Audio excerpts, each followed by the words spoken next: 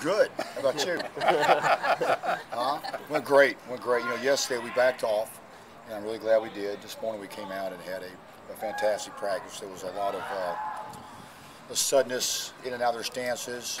They were very crisp, not many mistakes. I thought it was very close to game-like speed, even though we were in shells and we weren't tackling. It was very physical, thud, good execution on both sides. I thought it was a, an, an A, letter grade A practice this morning.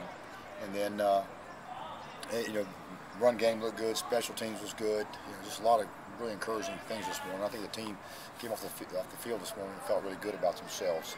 Not only had they responded, but they executed really well. It's one thing when you're trying like hell, and it's another thing you're trying like hell and things are going good, you know, and things went well this morning. They, they felt good about themselves, you know. And then uh, we came out this afternoon and uh, knew that they would be, you know, stove up and sore, and they were. And, uh, we trimmed a little bit of the practice schedule off, but not the hard parts. We did a lot of team and did a couple of uh, finish type drills, and they tried real hard.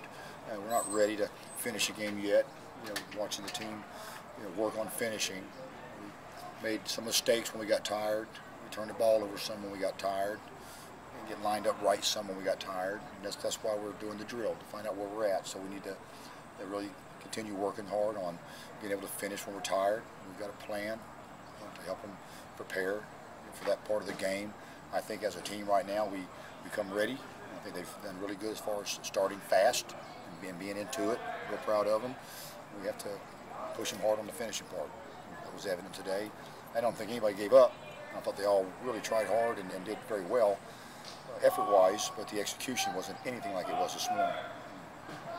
We have to keep working hard on being able to finish. You had mentioned with Gooden, uh, he's more mature. You, you've kind of seen him make some strides. Uh, how? Well, he's a graduate now. Yeah. That's a that's a that's a big start. He's, he's a you know, Purdue alum. That's exciting. I know he takes a lot of pride in that. Our whole football team and family is very proud to, to see Gerald graduate. Uh, he just makes better decisions, carries himself a lot more like a grown-up. Uh, he's really trying hard to be a good leader. I see a lot of good things from Gerald Gooden. I think he's really grown up, really grown up a lot since he came to Purdue. Have other players graduated yet, or is he, is he the only one on the team that has graduated? Ah, man, you caught me at a bad time. I was thinking about football. Oh. Sorry. Why? Silly me. yeah. Don't apologize. With the uh, the experience that most of those guys got last year, some of the younger players, are you opening up your playbook anymore this year? We, we you know, did, did some new things last year, and some of them we kept, some of them we liked and kept, and some of them we you know, put on the shelf. But, uh, we have our playbook. Our playbook isn't real big, to be honest with you. It's not near as big as it used to be. We're trying to do a better job of executing what we have. You know, defensively we put a lot in early, and I think that slowed the offense down a little bit today because they put uh, they put some fronts and coverages in uh, the first practices, uh, you know, a lot of them, and then uh, so we saw a lot offensively at the beginning. And today they started bringing some pressure, started bringing some blitzes and, and slanting the front, and you know, walking linebackers up and, and doing some things to disorient the offense some. And it was a good test for our offense. We need we need to work at it. I don't know that we have have opened up the playbook, not all of it, not the whole unabridged edition, just what we think we're going to need to get ready to play with. What's the likelihood that Caleb plays in week one? A lot of that will depend on how things go the next two and a half weeks.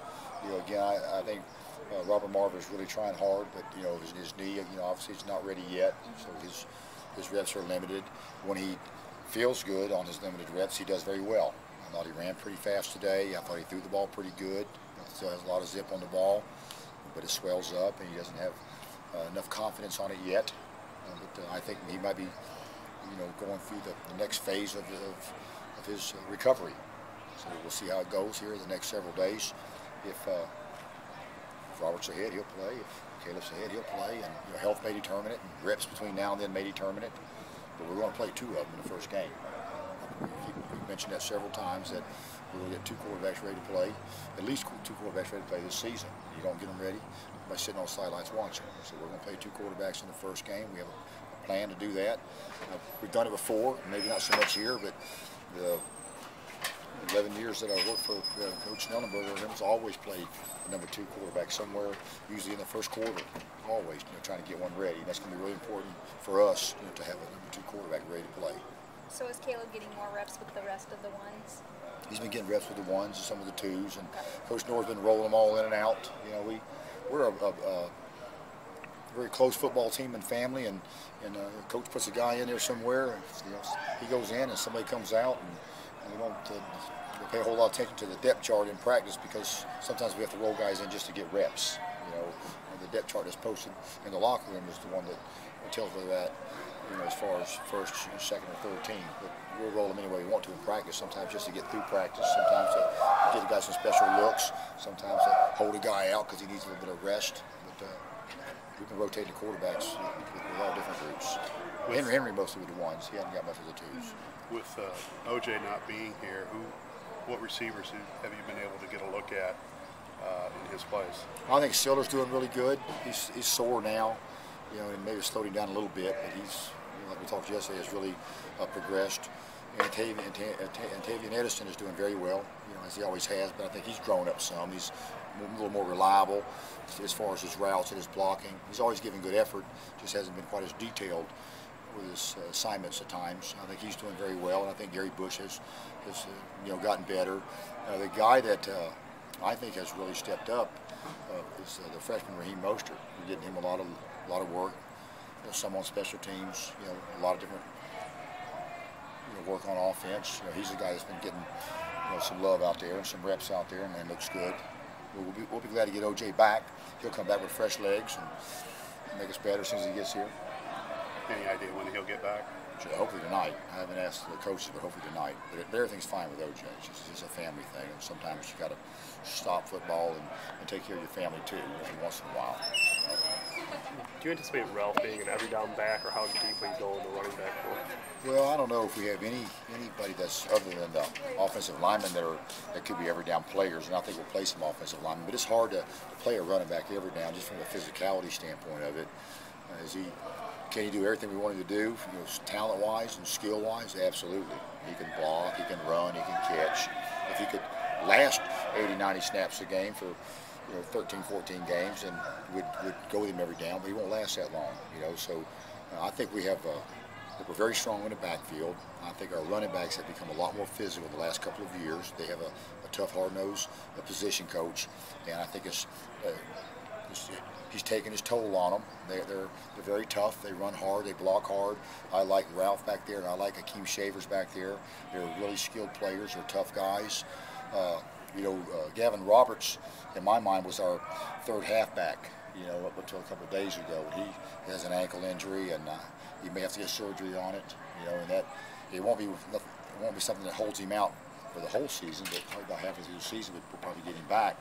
And with that in mind, you will take a look at you know, some of the other guys in the backfield. Uh, I really like Akeem Hunt. And whether or not he's ready to play this year or not, I'm not sure yet, but he's very, very fast. He's, he's blistering fast and exceptionally quick. And he shows some real toughness. And then Brandon Cottom has also been working and getting some reps at the fullback position. He's very, very talented. He's a 255-pound fullback that runs very well. And we're going to get him ready to, to probably play some this year. I like our backs. Jared Crank and Reggie Pegram are tough and, and they hard run, so they run hard. So we have some backs to, to, to get the ball to that run hard, that'll block. I don't see us, uh, you know, we're running thin on running backs for a while for this season anyway. So I, I like where we're at running back wise. Uh, much further along than we have been the last two years at the running back position. Did Gavin break a bone or something? Uh, I've got to get a little more details on it. You know, there's a lot of little things down in your foot, and we want to you know, more details later on it, but uh, they're saying he might have to have surgery, and if he does, he would be out till you know, four to six weeks, and then possibly back, you know, ready to roll you know, mid-season a little bit before that.